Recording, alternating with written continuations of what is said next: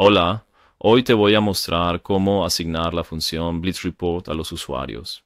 Justo después de la instalación, la función blitzreport aún no está en las entradas de navegación. Así que la idea de blitzreport es tener blitzreport disponible en todos los menús de navegación. Para hacerlo, ejecutaríamos un proceso concurrente llamado blitzreport update menu entries Ese programa está en la responsabilidad del administrador del sistema y usualmente puedes ejecutarlo con los parámetros predeterminados. Así. Eh. Y cuando lo ejecutas con los parámetros predeterminados, agregaría la función blitzreport en todos los menús de navegación de todas las responsabilidades activas. Responsabilidad activa significa que tienes al menos un usuario activo asignado a esa responsabilidad. Y um, también agregaría uh, la función del antiguo framework a todos los menús de navegación que son puro HTML. Responsabilidades. Así que en tu navegación del antiguo framework o responsabilidades uh, del antiguo framework tendrías la versión antigua de Blitzipod y en las responsabilidades de formularios tendrías la versión de formularios. Así que veamos cuando cambiamos de responsabilidad uh, si lo vemos mientras tanto. El proceso usualmente corre bastante rápido. Déjame cambiar a la responsabilidad de General Lecture. Bien, ahora vemos aquí el informe Blitz en el menú de navegación y también vemos el icono de Excel activo en la parte superior. Antes estaba desactivado justo después de la instalación, porque para poder acceder a este icono de Excel, para acceder a la función Blitz Reports, necesitarías tener la entrada del menú en tu navegación. Así que podemos ejecutar. El puerto final 3 es una prueba. Entonces aquí ves que la etapa estaba pendiente, ahora está ejecutándose. Ahí después de 11 segundos que ver y mostrarnos los datos. Ok, ahora está completo. Entonces parece que está funcionando. Sí, este es un informe de ejemplo. Esto significa que ahora todos los usuarios tienen en todos los menús de navegación, en cualquier responsabilidad, la función Blitz Report al final del árbol de navegación. Y también pueden acceder desde el icono de Excel aquí. Por defecto, ahora todos tienen acceso de usuario, lo que significa que solo pueden ejecutar los informes para los que tienen derechos de acceso en la responsabilidad de inicio de sesión de la cuenta. Por ejemplo, un usuario de contabilidad general o un usuario con responsabilidad en contabilidad general solo puede ejecutar los informes financieros y demás. Y para dar a tus desarrolladores, por ejemplo, ah, mayores derechos de acceso a Blitz Report, hay una opción de perfil llamada Acceso Blitz Report. Y los diferentes niveles de la opción de perfil, primero déjame mostrarte la opción de perfil. Vamos a sistema de perfiles y administrador del sistema. Vamos a configurarlo para nuestro propio usuario a un valor más alto del que tenemos actualmente. Estamos conectados como admin. Aquí ves el nombre de la opción de perfil. Es acceso Blitz Report. Y el valor predeterminado después de la instalación es usuario a nivel de sitio. Usuario es el nivel más bajo. Y tienes cuatro niveles diferentes. Los usuarios solo pueden ejecutar informes para los que tienen asignaciones. Eso significa que solo pueden ejecutar los informes para los que tienen derechos de acceso y responsabilidad de cuenta, y no pueden modificar la consulta SQL. Los administradores de usuario pueden ejecutar cualquiera de los informes, pero no pueden modificar la consulta SQL. Y los desarrolladores, ellos pueden modificar las consultas SQL y pueden crear nuevos informes y demás, pero tienen una limitación que no pueden modificar la funcionalidad de carga. Para la funcionalidad de carga, a fin de mantener y crear cargas, necesitarías tener el sistema de nivel más alto. Estos niveles de acceso o valores de opción de perfil también se explican en las guías del desarrollador.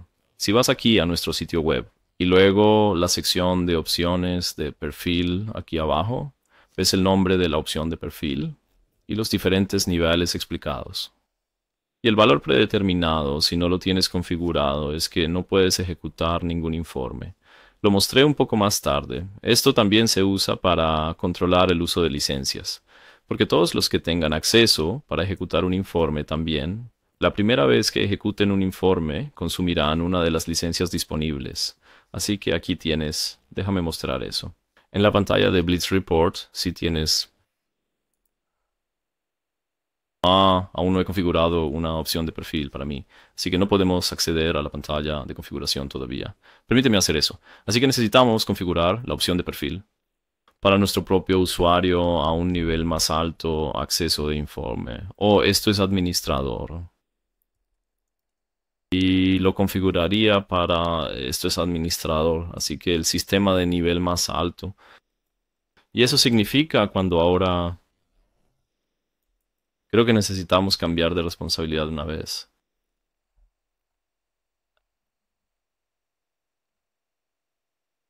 Y cuando ahora accedemos a Blitz Reports, vemos el botón de configuración aquí y detrás del botón de configuración está la pantalla de configuración. Ahora tenemos acceso completo, eso significa que podríamos modificar la consulta SQL y también podríamos modificar los parámetros o podemos controlar las asignaciones. Así que las asignaciones controlan a qué audiencia de usuarios se le permite ejecutar este informe. Así que las asignaciones se pueden hacer en diferentes niveles. Nivel de sitio, nivel de aplicación, etc. De fábrica proporcionamos con la instalación asignaciones a nivel de aplicación y a nivel de formas. Pero puedes modificarlo según tus necesidades.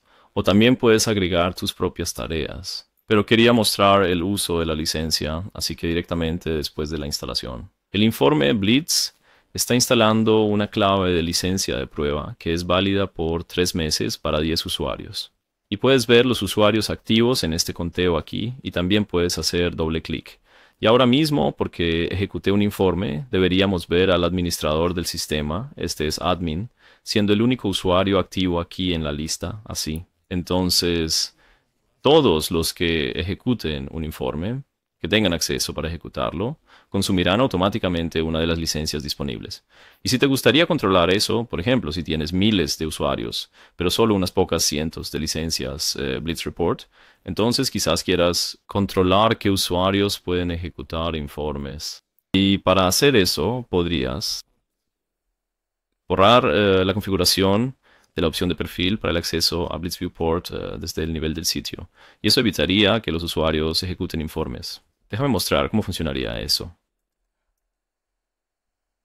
Ah, sí. Eh, también querríamos eliminar la configuración para nuestro propio usuario. Sysadmin.